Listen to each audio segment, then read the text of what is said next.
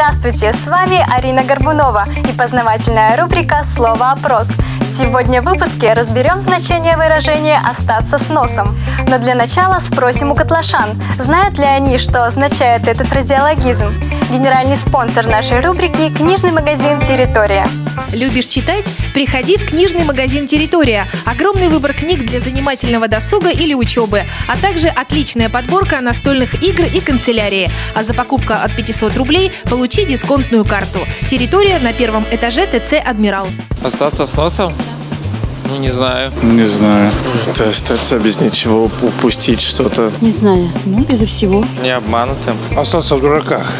Остаться с носом? Ну, вот если какой-то обман произошел. Остаться ни с чем. Остаться без ничего. Не секрет, что крылатые выражения способны обогатить речь любого человека. Правда, многие из фразеологизмов родились в таком далеком прошлом, что значение каждого из них просто-напросто утрачено. И смысл, который вкладывается в них сейчас, часто не похож на изначальный. Так и произошло с выражением «остаться с носом».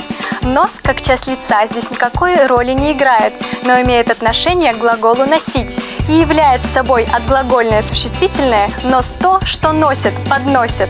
Существует две версии происхождения данного фразеологизма. По древней традиции жених, сватаясь к девушке, одаривал ее родителей каким-то даром, подношением или выкупом. Если парень чем-то не устраивал, следовал отказ, а то, что он преподнес, не принималось. Жениху ничего не оставалось, как остаться с носом. Фразеологизм возник как следствие отказа. Вторая версия имеет не такой личностный смысл, хотя нос употребляется тоже в смысле подарка. Скорее даже взятки, которую давали чиновникам, чтобы ускорить решение каких-то дел.